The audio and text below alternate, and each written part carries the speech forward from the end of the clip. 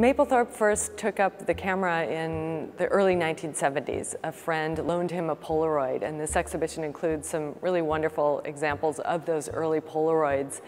You can see in those that he very early on discovered his key subjects, portraiture, floral still life, and the human body, the nude. Those were his three subjects throughout his career, and he always maintained that they were equal in his mind. This exhibition provides a perspective on the work of Robert Mapplethorpe, not just his photography, but also his coming of age as an artist. And I like this gallery a lot because it includes early work that he made while he was an art student in the 1960s.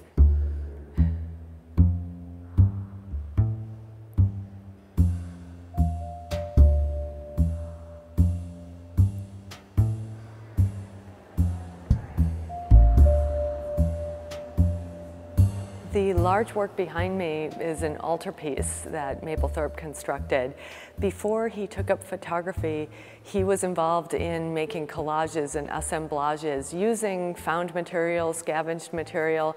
Not very many of these pieces survived because he would disassemble them and then use the components for other things, or we know about them only through snapshots or documentary photographs. This is a rare example that somehow got saved. It was packed away in boxes. It's very rarely been shown, but we were able to reassemble it for this exhibition.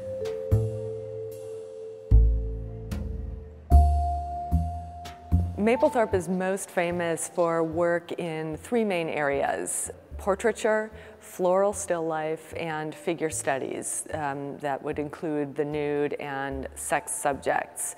These are very traditional art historical subjects, but he really made them his own. And you can't mistake a work by Robert Mapplethorpe for anybody else's, even in those common subjects.